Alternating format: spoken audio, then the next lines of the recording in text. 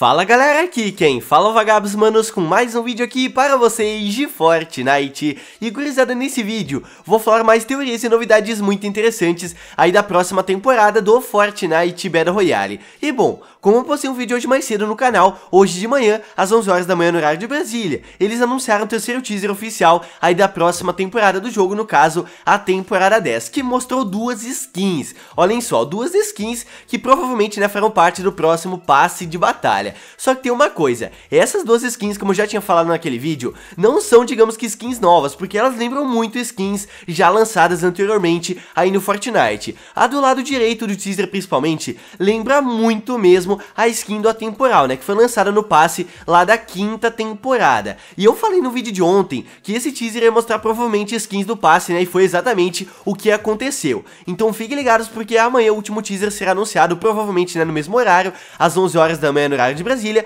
então fiquem ligados aqui no canal, né, provavelmente vai ter mais alguma dica, né, muito importante a respeito de skin, né, o tema aí do mapa da próxima temporada do jogo. E agora eu quero falar sobre essa nova skin do Atemporal que mostrou no teaser anunciado hoje. Olhem só, colocando a imagem do teaser e a imagem da skin original do Atemporal, dá pra ver que a máscara é um pouco diferente. A máscara do teaser, ela tem um design um pouco mais moderno pelo que parece, e as orelhas, elas são mais perto uma das outras e elas são mais retas, tá ligado? E as orelhas da máscara original do Temporal temporal são mais onduladas e mais afastada uma das outras, ou seja, a máscara não é totalmente igual, né, mas não tem como negar que são muito, muito parecidas. Então, por conta desse detalhe, a galera tá comentando que essa skin ou vai ser uma versão do futuro do Atemporal, ou vai ser uma versão feminina dele, o que faz total sentido também. Então eu quero saber as opiniões de vocês, qual você acha que faz mais sentido, ser a versão feminina ou ser a versão do futuro. Mas essa não é a skin que o pessoal mais está discutindo hoje, na verdade, a skin do outro lado do teaser, o lado esquerdo do caveirão,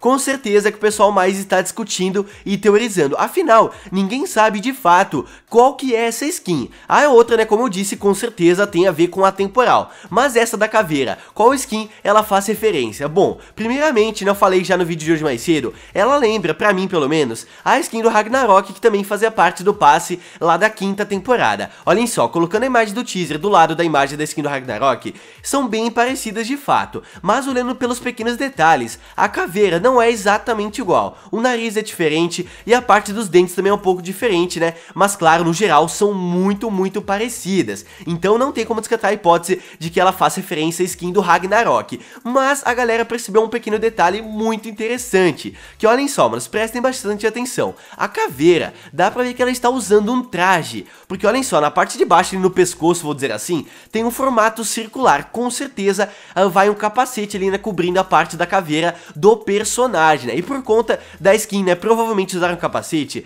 a galera comentou bastante que pode ser a skin do Dark Voyager. Exatamente, essa skin que lançou no passe lá da terceira temporada ainda, há muito, muito tempo atrás. Porque a skin usa um traje preto de astronauta e olhando a skin do teaser, dá pra ver que o Caveira, né, provavelmente está vestindo um traje preto também muito parecido com a do Dark Voyager. E outra coisa, a gente nunca descobriu de fato o rosto da skin do Dark Voyager. Como já disse, ele foi lançado há muito tempo atrás, mas o rosto nunca foi revelado, quem sabe é essa caveira aí. E por conta da possibilidade da caveira usar um capacete, muita gente está teorizando também que no caso é a própria skin do visitante, isso mesmo. No teaser anunciado ontem eu falei, né, que aparece o símbolo exato que tem na skin do visitante, correto? Ou seja, com certeza ele tem a ver com a próxima temporada do jogo também. E por conta da skin do caveirão poder usar um capacete, muita gente fala que pode ser o visitante, mas não só por conta disso. Olhem só na parte da orelha, vou dizer assim, ali da caveira. Tem meio que um buraco, né, meio que uma parada circular ali, tá ligado? Onde eu estou mostrando na flecha para vocês. E olhando o capacete do visitante, ele tem um formato muito parecido ali também. Então quem sabe pode ser a skin do visitante. Ou seja, essa skin da caveira tem três teorias rolando na comunidade em relação a ela. Ela pode ser a skin do Ragnarok, ou pode ser a versão do futuro passado do Dark Voyager, ou uma versão da skin do visitante né, na questão do passado ou futuro também. E eu quero saber quais são as opiniões e teorias de vocês a respeito dessa skin aí, né, com certeza gerou muita curiosidade por parte da comunidade do jogo. Mas além disso tudo, também tem um detalhe muito importante a respeito dessa skin da caveira. Lá na China, por questões de leis do governo governo e tudo mais, eles não puderam colocar a caveira no teaser de hoje. Então olhem só o teaser que eles anunciaram lá na China. Aparece uma máscara na caveira, isso mesmo. Então pode ser que a skin não vai usar um capacete, sim uma máscara, que no caso é essa máscara aí, que eu achei bem bacana de qualquer forma. E já que esse vídeo é sobre teorias, eu quero falar agora a minha teoria a respeito do tema do próximo passe de batalha do jogo. Eu acho pelo menos que no próximo passe vai ter uma mistura das skins de antigos passes de batalha, tá ligado? Porque no primeiro teaser que eles anunciaram, apareceu o depósito empoeirado, que é um antigo local no mapa, né? Ou seja, eles já indicaram pra gente que no mapa da próxima temporada vai ter antigos locais no mapa, por conta do tema ser viagem no tempo e tudo mais. Mas por que hoje apareceu a skin do temporal no teaser? Eu acho também que no passe vai ter uma viagem no tempo, assim como no mapa do jogo, tá ligado? Vai ter skins de antigos passes de batalha, mas é claro, um pouco diferentes. Pelo menos essa é a minha opinião. Eu quero saber né, se vocês concordam comigo ou não, e se você tem outra teoria, né, fica à vontade para deixar nos comentários também. E claro, tudo que tem a ver com a próxima história do jogo, com certeza é a esfera de energia lá no centro do cofre, né? Hoje, na verdade, ela já mudou de estágio, ela está no estágio 3, que no caso é o estágio final, ou seja, ela está muito colorida, muito viva, né, com várias rachaduras, né, com muitos plasmas. Olhem só o barulho que ela já está fazendo durante uma partida, conferem só.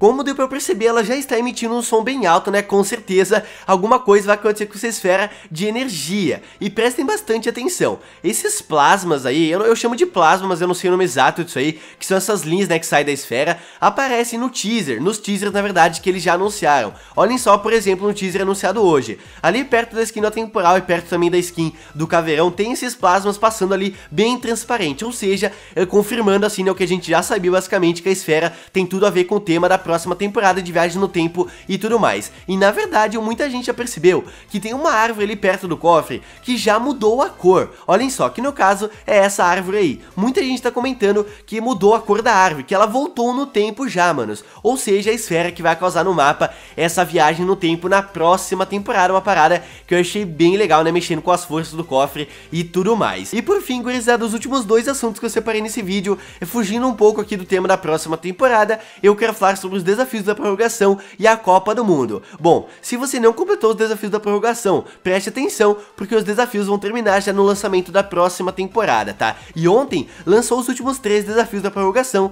que são esses desafios aqui. Um deles é para você ficar entre as 15 melhores duplas ou esquadrões com um amigo, fazer isso em 5 partidas, assim você ganha 10 mil de experiência. Outro desafio é para você causar dano com SMGs a oponentes, 2.500 de dano no total, né, ganhando 10 mil de experiência também. E o último desafio desafio é para você marcar um gol em um campo de futebol coberto, assim você tem uma tela de carregamento bem bacana de graça aí na sua conta. Se você não sabe onde é que fica o campo de futebol coberto, ele fica bem perto de Torres Neu, tá exatamente onde estou mostrando o vídeo para vocês, é só você marcar o gol de boas é que você completa o desafio sem nenhum problema. E agora eu quero falar sobre a Copa do Mundo. No domingo aconteceu as finais da Copa do Mundo do modo solo e foi empolgante demais. Tenho certeza que se você assistiu, né, você com certeza curtiu o momento porque foi muito emocionante. E olhem só o top 10. Na primeira colocação, ficou o jogador americano né, dos Estados Unidos chamado Buga. Ele somou 59 pontos. Manos, ele teve um desempenho sensacional, quase o dobro de pontos do segundo colocado. E ele levou para casa mais do que merecido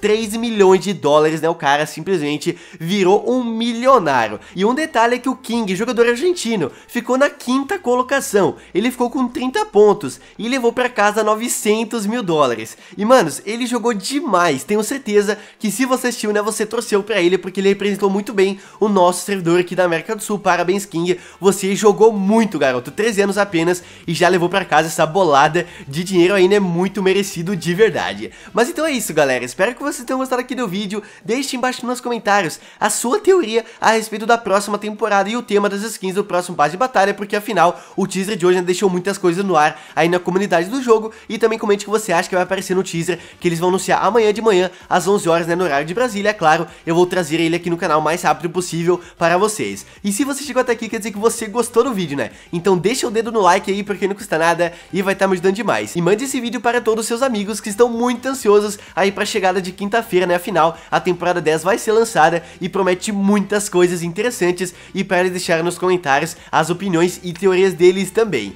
Então é isso, galera. Aquele abraço, se vemos no próximo vídeo. Valeu, falou e eu fui!